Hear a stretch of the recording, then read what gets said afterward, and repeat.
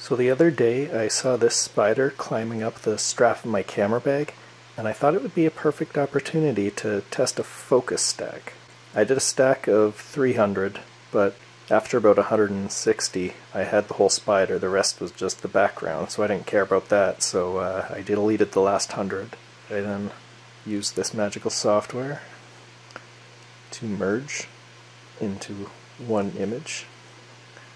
It's all nice and auto align and focus stacked and I think it looks pretty cool.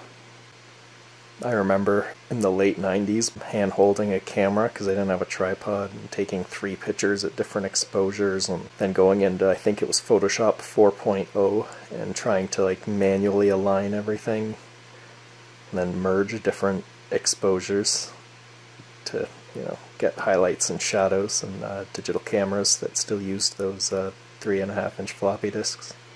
Oh, those weren't the days. Things are so much better now. Focus stacking is really cool, and if this is something you only played around with for a little bit like 15 years ago and thought was too much hassle so you gave up on it, oh, take a second look now because oh, it is so much cooler now that it's mostly automatic. Okay, this is the cool part.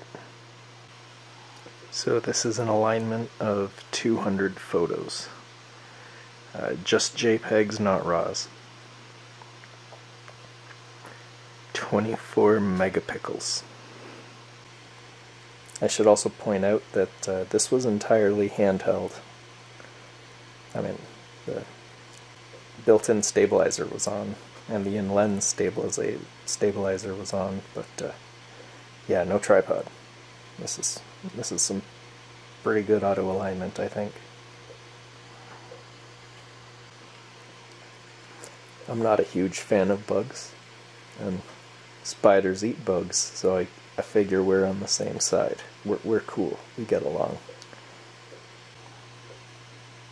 No, perhaps I shouldn't have deleted that last hundred photos. It's the background is looking very bizarre.